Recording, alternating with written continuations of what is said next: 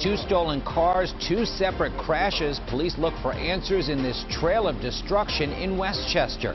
Good afternoon, everyone. I'm Jim Donovan. A driver who was struck by one of the stolen cars is speaking only to CBS News Philadelphia this noon, and we have exclusive security camera video of that crash. Matt Petrillo is live where it happened at Gay and Darlington Streets. Good afternoon, Matt.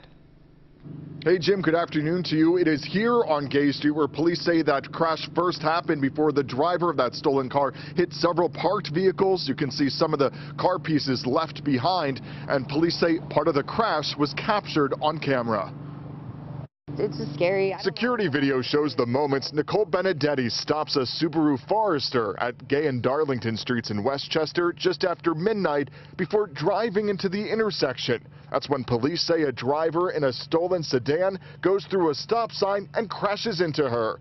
Watch again and you can see the impact was so great. The Subaru spins around twice. And I was just going across town and like nobody was there. I mean, you know, he saw the video. Nobody was sitting there at all. And uh, I, at literally two seconds, was smashed. I spun around completely twice, was up on the curb.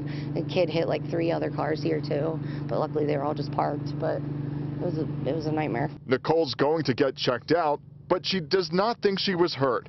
Police say not too far from that scene, another stolen car slammed into a light pole. Police say six people were injured in both crashes, but we still don't know whether the incidents are connected. I just assumed it was like a drunk driver or something. Like, I never would have guessed that it was two stolen cars. Like, it's insane. I don't, like, what are you even thinking? Like, you just ruined the rest of your lives. Like, and you could have killed several people. And at this point, police tell us no one has been charged. That's because some of the people riding in those stolen vehicles were so badly hurt they are still in the hospital. We're working to learn more about those suspects. We'll bring you that starting at 4. For now, reporting live in West Chester, I'm Matt Petrillo. Jim, back to you. Thank you, Matt, for that update. Appreciate it.